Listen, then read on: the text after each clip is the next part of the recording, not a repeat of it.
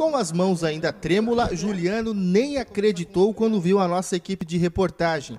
Ele já sabia que a gente veio dar a boa notícia para ele.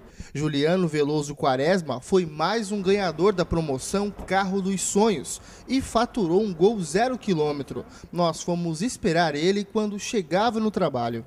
Tu já sabe por que, que a gente veio aqui hoje? Sei. Tá tremendo? Cara do céu. Me... A alegria é muita, muita, muita, muita. Eu nem sei que. Nem sei o que falar, cara. Juliano tem apenas 20 anos e, acreditando que nunca teria tanta sorte assim, comprou um Gol ano 2001, mas não pagou ainda nem a metade do carro. Só de olhar o tamanho do carnê até dá um desânimo.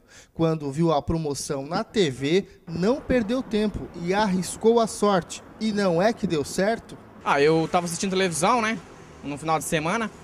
Daí eu peguei e vi, tava, apareceu lá, é, promoção, carro dos sonhos, tá, tá, tá. É, daí comecei a jogar na segunda-feira.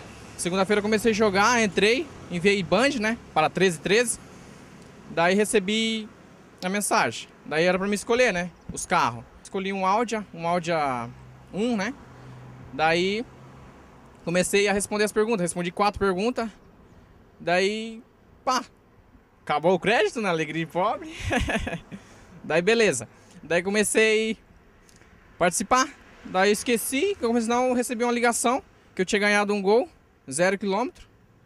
Daí fiquei super feliz, cara, nem, nem sei o que falar. A gente vai entregar para ele a chave do novo carro dele, um Gol 2011. Tem aqui a tua chave do teu novo carro. Antes de entrar no antigo carro, ele prometeu: essa vai ser a última vez que vou andar com esse aqui.